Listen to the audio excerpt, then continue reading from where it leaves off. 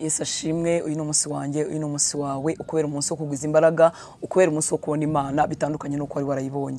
Imana ahantu hambere tuvugishiriza ni mu ijambo ryayo. Uri isomo ryitayeho uri isomo ritinzeho kandi uri isomo utaryerekeza ku bandi. Ntunarisomere kuribwiriza abandi. Uri isomo uryerekeza ku buzima bwawe nirimara kugwirira mu buzima bwawe no kubwira abandi wabibabwira ariko mbere na mbere impamvu yo gusoma ijambo ry'imana ni ukugira ngo rikore umurimo mu muntu wacu. Wamwe imbere twebwe ubwacu twebwe turisoma mbere yo kuryerekeza abandi. Rero ugenda ugwiza imbaraga yo kurisoma ndetse no kuritindaho reka dukomeze gufatanya gusoma igitabo cy'ibyakozwe n'intumwa igice cyaho cya makumyabiri na kabiri.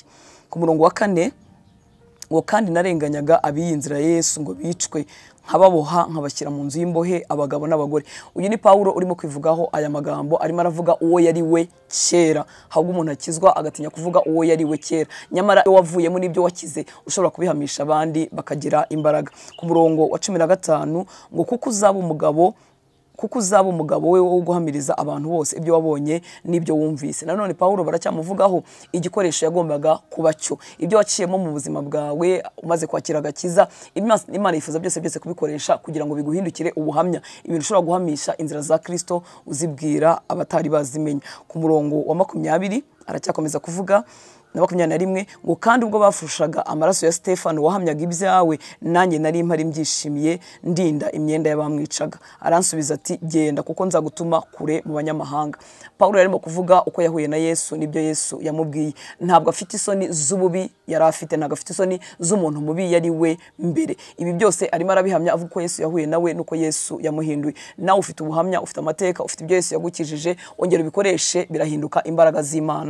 Zabasha gukiza abandi. Mwibuke ko ibintu bifite akamaro muri none si uko twavuga matayo tukavuga petero tukavuga ba yohana tukavuga ba ruka nuko twavuga ubuzima bwacu bwahinduwe n'imana. Imana ihindura ubuzima ikaduha imbaraga hejuru y'icyaha ikaduha imbaraga hejuru y'ibibi twahozemo tukabivamo rwose. Izo rero ni imbaraga wahamirisha abandi. Si ibikoze isoni byagukoze isoni ukibihagazemo. Ariko ntabwo bikojeje isoni ibyaha byanjye ntabwo byankoze isoni uyu munsi kandi yesu yarabinkejeje rero reka bitubere imbaraga zo guhamyimiriza abandi ko yesu abasha gukiza ibyaha ko yesu abasha gukiza ubuzima bubi umuntu akaba icyaremwe gishya. Ku murongo wa makumyabiri na kabiri ngo baramwumviriza kugeza kuri iryo jambo maze bavuga ijwi rirenga bati kuri icyo kigabo mu isi ntigikwiriye kubaho. Nubwo Pawulo yari amaze kubavugisha amagambo akomeye y'uburyo yahuye na Yesu y'uburyo Yesu yahinduye ubuzima bwe ntabwo ariko abantu bose babyishimiye. Satani ntabwo azishimira ko ukizwa satani ntazishimira kuvuga ko wavuye mu bibi n'abandi bantu bamukorera cyangwa se yaba yashutse nabo ntabwo bazabyishimira. Ahubwo iyo dutangira urugendo rw'agakiza twizera ko abantu bose bazabyishimira